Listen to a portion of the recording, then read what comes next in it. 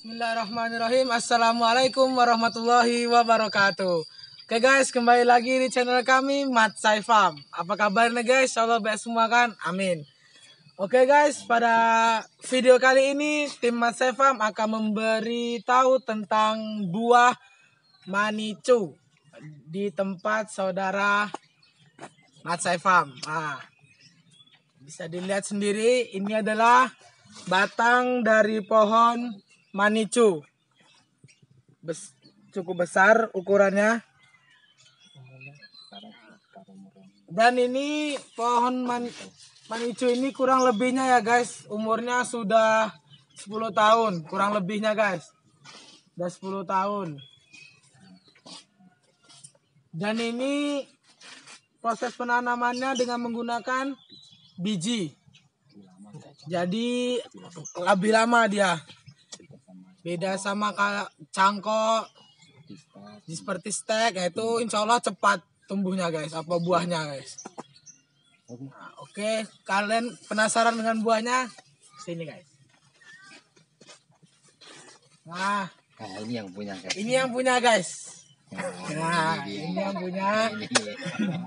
Nah, itu ya. Ini adalah buahnya guys.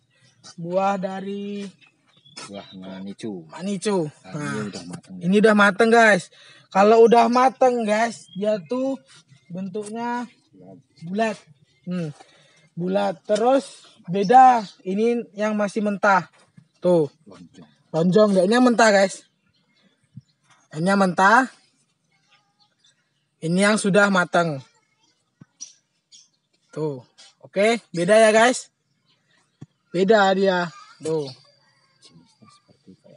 Kita Kita buka, Buka. cicip. cicip dulu guys. A few moments later. Guys. Cicip dulu guys. Gede dulu deh. Bismillahirrahmanirrahim. Cicip. Rasanya gimana? ya? Rasanya manis. Mirip klengkeng. Buahnya kayak buah klengkeng guys. Harumnya. Rasanya mirip sih. Gilar ya.